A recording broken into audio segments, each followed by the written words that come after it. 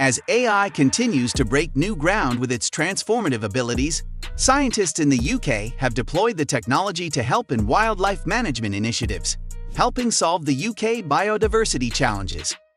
Under this project, researchers made use of AI-controlled cameras and microphones to track wildlife and identify the various species as well as their general behaviors.